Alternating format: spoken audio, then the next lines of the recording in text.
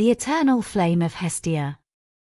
In the heart of Mount Olympus, among the majestic abode of the gods, there resided a deity unlike the others.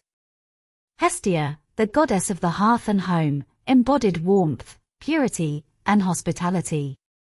While her divine siblings reveled in their cosmic roles, Hestia found solace in the simplicity of her eternal flame. Hestia's sacred fire, tended with devotion, was a symbol of the hearth's warmth, the heart of every home, and the essence of communal life.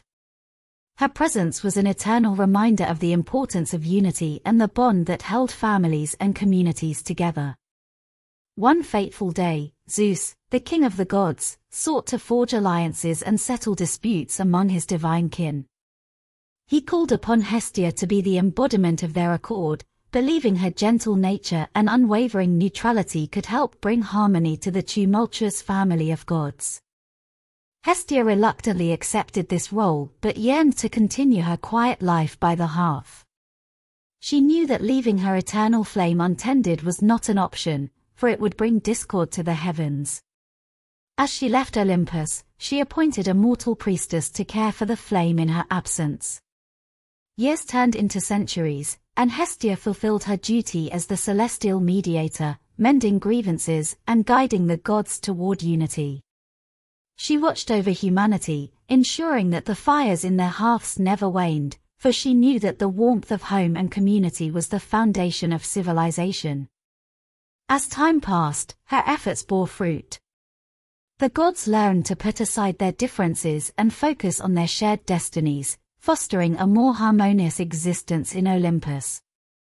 Eventually, Zeus acknowledged her tireless dedication and wisdom, and with great reverence, he offered Hestia the opportunity to return to her sacred hearth. Hestia, filled with gratitude, returned to her celestial abode, where she found her eternal flame still burning brightly, thanks to the unwavering care of the mortal priestess.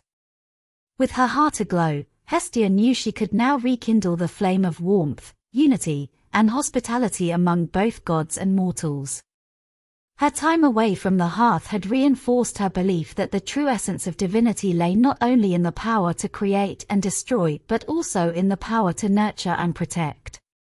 Hestia understood that her duty as the guardian of home and hearth, both in heaven and on earth, was a sacred charge that transcended the chaos of Olympus. From that moment on, Hestia's eternal flame burned with an even more radiant light, illuminating not only the halls of the gods but also the hearts of mortals. Her enduring presence served as a reminder that unity and hospitality were virtues to be cherished, both within families and in the wider world.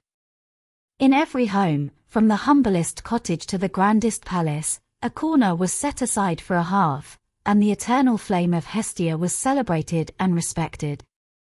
The goddess of the hearth had once again found her eternal solace, tending to the eternal flame, bringing warmth and harmony to the heavens and to earth alike. The end.